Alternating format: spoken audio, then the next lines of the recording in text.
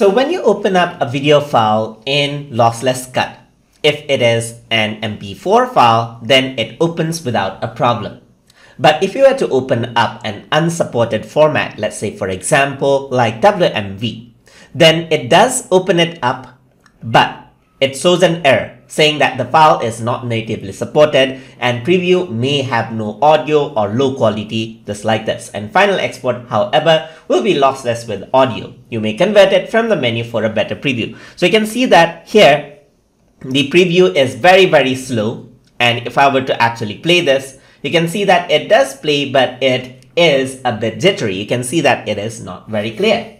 So in order to uh, preview it uh, quite right, what we can do is convert it into a supported format. So for that, I'm going to go to File, and then I'm going to click on Convert to Supported Format. And what it does is it provides us with different options like fastest, like low playback speed or slowest, like high quality encode. So I'm just not going to go around onto uh, the fastest one. Let's go for the slowest one because it gives us the highest precision on the conversion. So I'm just going to press OK and then it takes some time to convert. So depending on the size of the video file that you have, uh, the conversion might take a while because right now what is happening is that it is re-encoding everything out.